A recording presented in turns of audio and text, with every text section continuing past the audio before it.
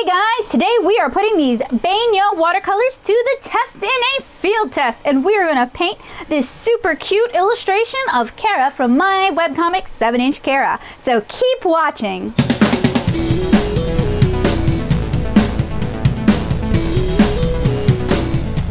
Hey guys, so today we are putting these Bainyo, Bainyo watercolors to the test. If you're unfamiliar with these, click here to check out my swatch and unbox video. So I already have a really cute illustration already drawn and this might be a huge shame because I have a feeling these these watercolors are not very good. I've got my super soft white stroke here. I am going to erase to remove the graphite and then I'm going to use some low tack tape, probably washi tape like so to adhere it to this masonite board. So I've got my daisy palette. I've also got a cup of clean water, an eyedropper, and I've got brushes off camera. This small set comes with a tiny round that I can't even retrieve. And it also has an orange that I think is supposed to be a skin color. Let me actually grab a piece of piece of scratch paper and we'll find out. Always better to test before you commit. Yeah, I think that's supposed to be like a flesh tint. So I think rather than mixing a skin tone, which is what I, I normally do, I know a lot of artists will actually utilize pre-mixed skin tones in these sort of palettes. So I'm just going to use the skin tone they have and we'll roll with that. I'm gonna try to do as little color mixing as possible. Let's just consider that a challenge. So I'm gonna grab some of this sort of teal blue is what it looks like. I don't know if it actually is.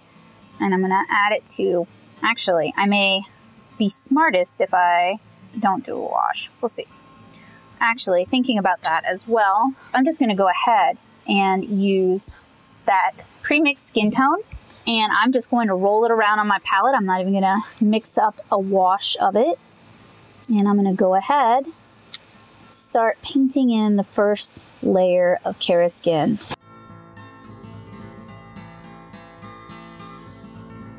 And kind of keeping my eyes open and paying attention to the variety, the wide variety of materials, techniques, and methods that other comic watercolorists and other uh, watercolor illustrators use for their art. So figure I'll bring some of those to the table recommend you guys always keep your eyes open to see what other people are doing and always be willing to try other people's techniques. And going wet into wet, I'm just sort of brushing in a more saturated version of that color. And these are probably the sort of watercolors that get kind of gross and muddy if you overwork them. So I'm going to let this dry. Let me move this up for you guys. I'm noticing a little bit of muddiness. It could be, I'm using the wrong kind of brush for this. It could be, um, this is just not a very good set.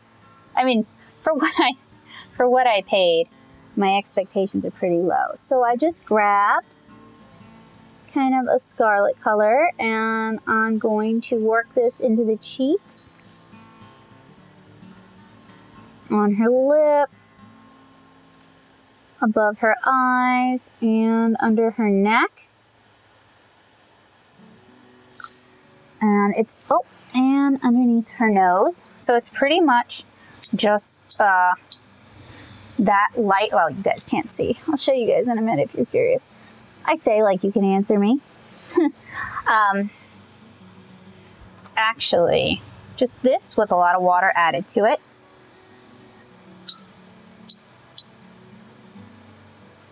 And I'll give that a chance to dry as well. Now I have to think about what color I want her dress to be and what color I want her sweater. I think I want to do her dress red least the skirt. So working straight from the palette, very little mixing. I'm just grabbing some of that red. I'll wash in a little bit extra too. And I'll go ahead and fill in the first button. Also going to grab a little bit of blue, that dark blue, that ultramarine blue at the top row, or from the top row, and I'm going to do the top half of her eyes.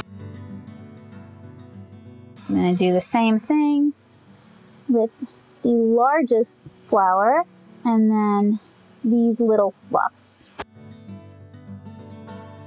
And give that a chance to dry as well. So this has had a chance to dry and I've had a chance to do a little bit of rearranging. I'm gonna grab some more of that skin type color. Try to grab a lot of it because I want to do something kind of, there we go, a little more saturated. So far these aren't bad and would make for a really handy pocket set or a set for a younger artist or somebody who um, just kind of wants to do like character illustrations, like a fashion sketch set kind of thing. I mean, they're going to be a little more opaque. You're going to have trouble blending. But if you're really just like sketching and you just want to block in your color, so far they're not bad at all. Go ahead and activate that yellow ochre. I'm going to try to do my mixing over here And these two slots would probably be useful for doing larger washes. And you're gonna have to keep your layers minimal with a set like this because there's a lot of optical brighteners. So as you layer, it's gonna get muddy. So you kind of wanna get in there, get your colors, and get out. And I'm going to go ahead and get the centers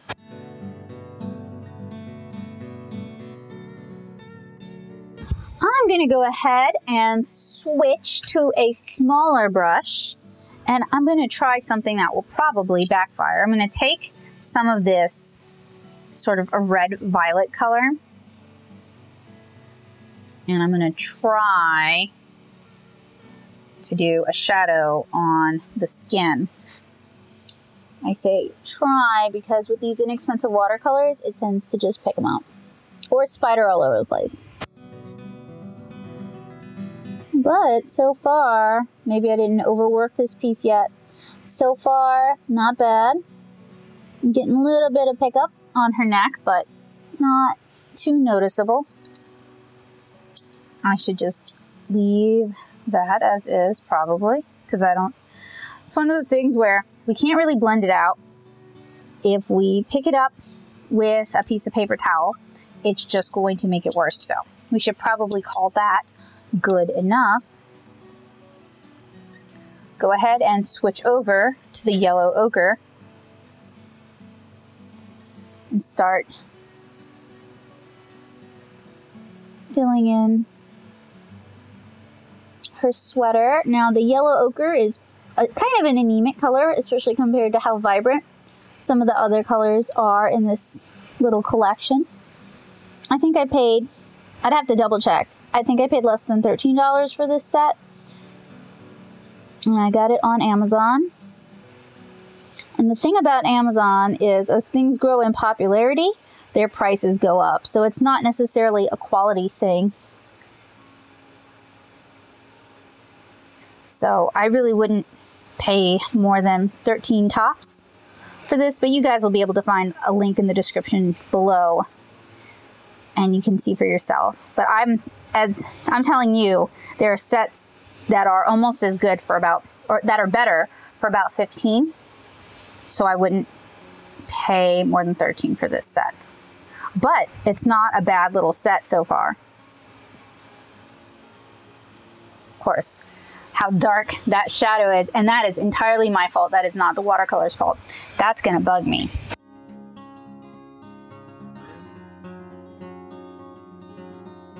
Boy, that purple is intense. Let's try muting it down by painting some of that skin tone, that flesh tone sort of stuff on top of it. Because I think that'll actually work. You can't exactly, with these kind of watercolors, I feel like you can't exactly blend them out. They're going to get really muddy. You can, however, layer them and sort of mute out the colors just as long as you don't expect miracles from them. So I think I think that was a good solution to that problem. I'm going to try to pick up a lot of yellow ochre. We'll see if we can get any more color saturation. We cannot. I kind of want to try blending a darker color. Another thing is since you're working, or at least I'm working, I realize that doing light washes with these watercolors is just not going to work to anybody's advantage. Um, these are probably intended to be used very thick, probably not with too stiff a brush, even though it comes with a fairly stiff bristle brush because that's going to pick up your previous layers because this is full of op optical brighteners. Um, so like uh, things that will make the colors in the pans visibly pop. So like chalk or talc.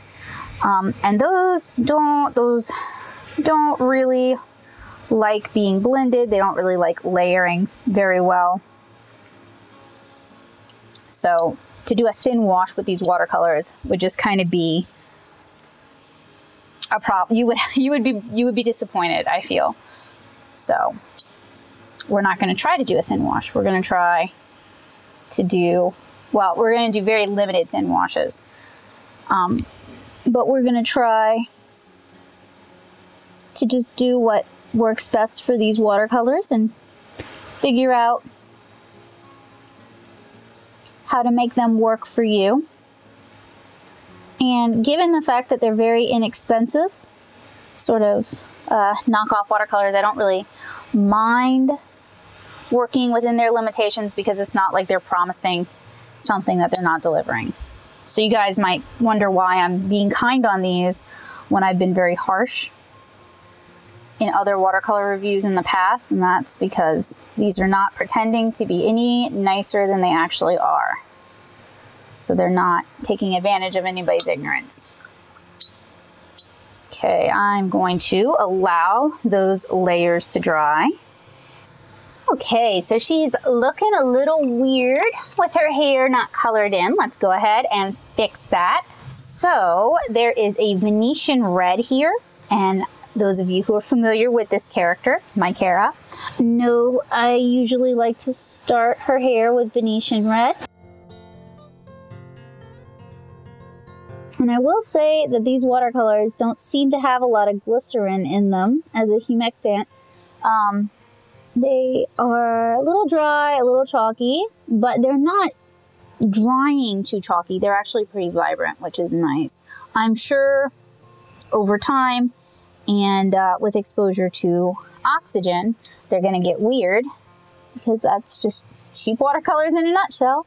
But so far, they're actually not bad at all, which is nice because I get so many people who write to me asking for watercolor recommendations and they're either adult heck. Some of my some of my comic artist peers who have been making art for a really long time ask me for recs and I give them you know I recommend what I like and what I have experience with and then people are like oh that's too expensive. And it's understandable if you're buying for a child and you don't want to make a huge investment in something that they might not be interested in in like two weeks. So I'm really glad that these perform decently well because it means I have something I can recommend that's going to kind of hit that sweet spot that people have without being too expensive and without requiring years of watercolor experience in order to be able to use to their full advantage.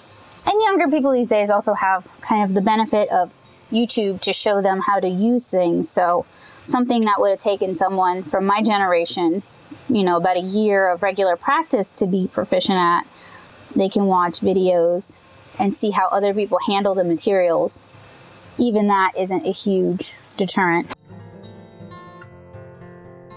But so far, I think these would be great for character sketches, for quick studies, anything where you're pretty much okay with just slapping paint down quickly and not trying to blend and not trying to do too many layers, I think these are really ideal for that kind of creator.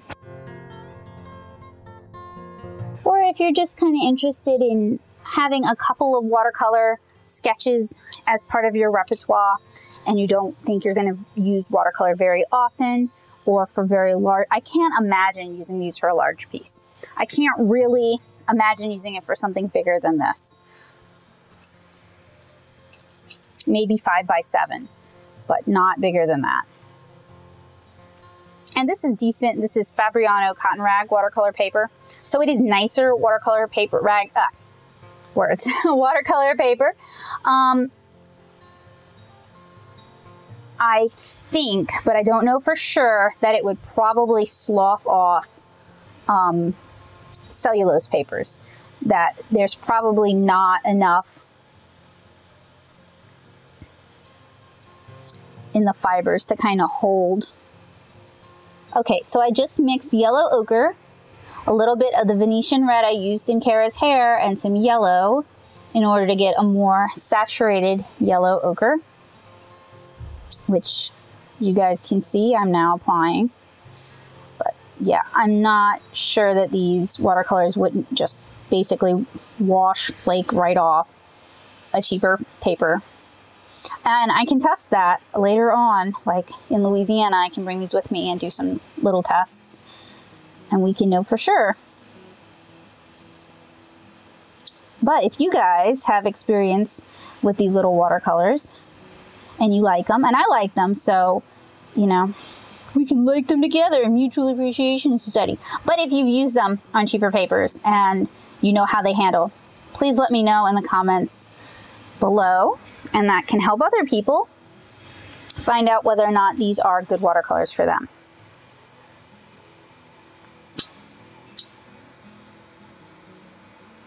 I'm going to switch over to hopefully a brush with a finer point. Zoomity zoom, zoom, zoom.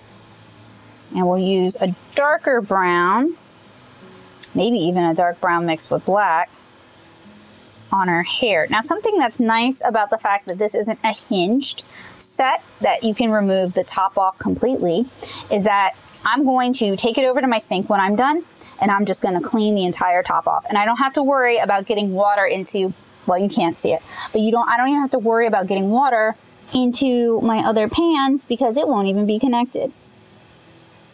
So that can be great if you're a parent who bought these for a kid and you know you're the one who's going to be really cleaning it up. It just requires very little hassle or effort. So I mixed the dark brown with the black to get a much darker brown. You might have to mix some more of that. I am using nicer brushes with the set. I'm not using the brush that came with the set. That thing looked like a nightmare. I am using nicer brushes than you would probably if you had a child artist. Uh, I'm using nicer brushes than you'd probably have just laying around. So if you're buying this for a young artist in your life, I do recommend maybe some squirrel or camel or uh, a blend. So a brush that's a blended blend of fibers. So something soft that's not going to basically scrape the paint. I think a synthetic would probably scrape the paint off of the paper, especially if you were using a cellulose, like a paper, I'm sorry, a wood pulp based paper, cellulose paper rather than like a cotton rag paper like I'm using here.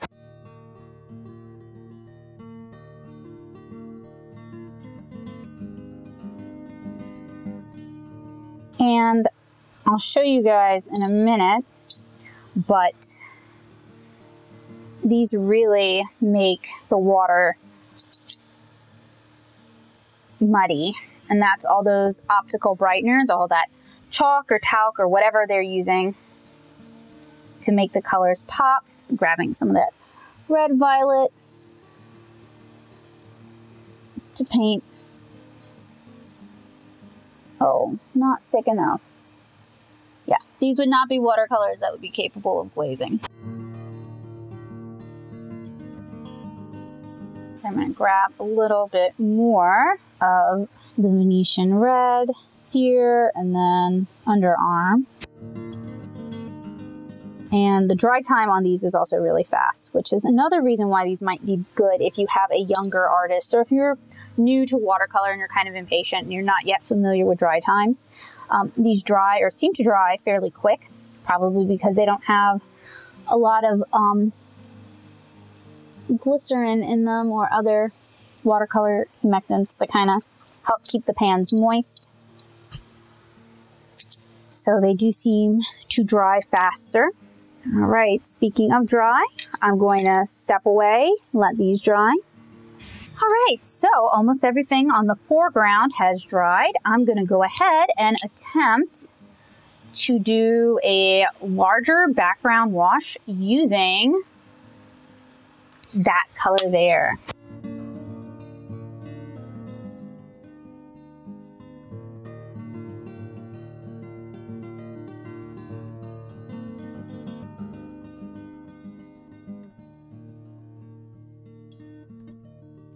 So while that sky dries, I'm going to work my way on over and around to that red violet.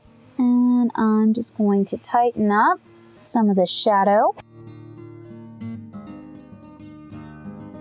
Also, I'm going to activate a few other colors. And it's almost reminiscent of like, I don't know, like putting water on chalks. I remember Heidi and I did the Savannah Sidewalk Chalk Art Festival one year, and we figured out that we could paint with our chalks if we ground them up and mix water with them, and that way we could get softer blends. And this is really reminiscent of painting with those ground up, watered down chalks, which, I mean, isn't necessarily the worst thing in the world. I've already praised this little set a fair bit.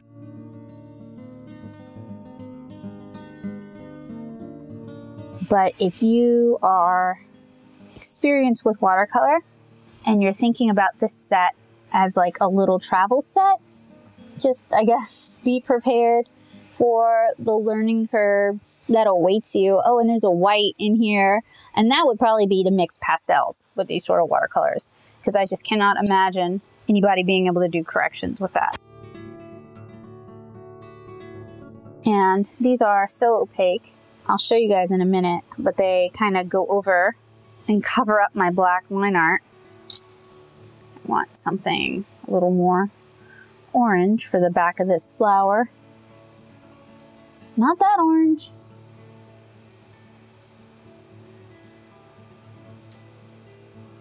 Oh yeah, these hands are really weird. Right, so for something a little bit different than your normal watercolors, this Bainyo watercolor set might be just what you're looking for. Handles almost like gouache, but not if you're more familiar with gouache, it's not really like gouache at all, but it can be a useful tool if you want to do in the field sketches. If you're only interested in doing character sketches, or you have a young artist and you want to give them something decent, but you don't want to break the bank and you don't want to waste money either. All right, guys, I think we are just about done with this Bainyo, Bainyo watercolor field test. I hope you guys found it helpful, useful, and informative, and maybe I've even introduced you to a product you hadn't yet thought about using. You can find where you can get your own set if these look good in my description down below. I got these off of Amazon. So I hope you guys enjoyed this video, and I hope you guys will check out my other watercolor videos here on this channel, as well as my dozens of helpful watercolor tutorials in my watercolor basics section or series rather at nattosoup.blogspot.com. So thank you guys so much for watching. Bye!